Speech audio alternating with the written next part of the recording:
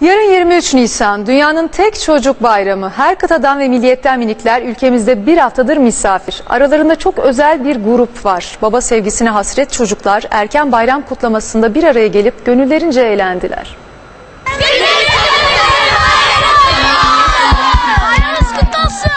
Ben Çok güzel sizlere yermiş. teşekkür ederim ama Çocuklar da buralar sizden çok bir öpücük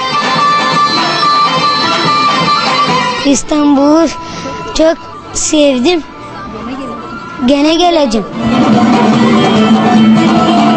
Oyunlar, şarkılar, gösteriler. Minikler hem eğlendi hem de geleceği oldukları dünyanın barış dolu günlerinin temelini attı.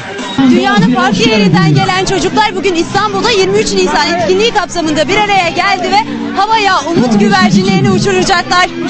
Barış ve kardeşlik için. Dünya kardeşliği. Diğer misafirlerin aksine bu miniklerin özel durumları vardı. Kaybettikleri babalarının sevgisini hasretti. Hepsi birkaç günlüğüne de olsa unuttu. İlk kez gördükleri İstanbul'un heyecanına kapıldı. Sen nereden geldin?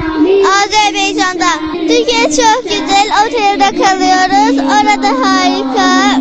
Sen Türkçe konuşmayı bu kadar güzel nereden öğrendin? Küçük olduğumda şey, çizgi filmlere çok bakmıştım. Minikler eğlenceye doymadı. Çok güzel burası. Bayıldım buraya. Evet. Bir daha gelecek misin? Gelmek isterim. Evet geleceğim. Dünyanın tek çocuk bayramı için mega kentin her kıtadan bir misafiri vardı. From Tanzania, Zanzibar. Turkish country is so good.